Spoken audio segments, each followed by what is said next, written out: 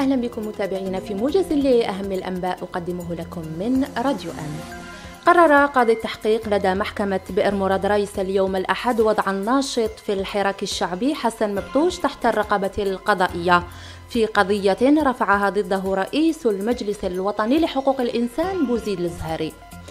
في خبر آخر وصل أزيد من 800 جزائري إلى ألميريا إسبانيا خلال الأربعة أيام الأخيرة. حسب ما أفاد به العضو بالمركز الدولي لتحديد هوية المهاجرين المفقودين الإسباني فرانسيسكو خوسي كليمانتي مارتين. وقال ذات المصدر إن 600 حراق فقط استقبلوا من طرف حرس السواحل بينما هرب الباقون من السلطات. في خبر ثالث قال رئيس مجلس الأمة صالح قوجيل في حوار مع قناة الشروق إن مقاطعة تشريعية 12 جوان تحتاج, تحتاج دراسة عميقة لمعرفة الأسباب. وفضل جوجيل في شرح أسباب المقاطعة الوقوف عند الانتخابات المحلية بفرنسا قائلا إن المقاطعة بلغت فيها 70% ومع ذلك لم تكن هناك أي تشكيكات في الأمر. وأفاد رئيس مجلس الأمة أن الجزائر في المسار الصحيح وكل شيء فيها سيتغير بعد أن جاء عبد المجيد تبون مغاربيا أعلنت بعثة الأمم المتحدة في ليبيا أن المحادثات التي ترعاها بهدف تمهيد الطريق أمام إجراء الانتخابات في أواخر ديسمبر المقبل فشلت في التوصل إلى تسوية للخلافات القائمة بين أطرافها.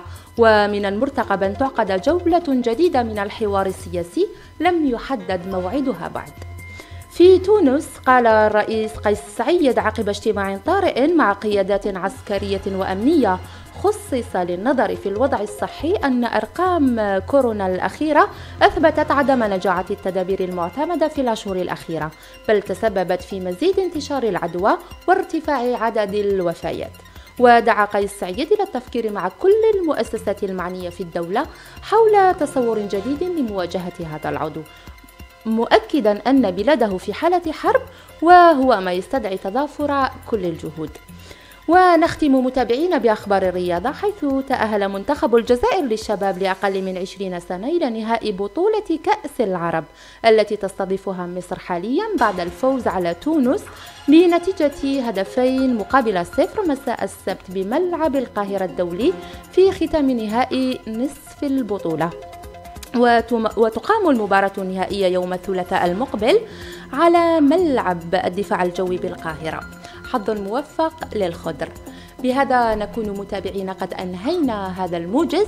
نذكر أنه بإمكانكم متابعة أخبارنا على مواقع التواصل الاجتماعي وعلى موقعي راديو تيغي إم ومغرب إمرجون إلى اللقاء.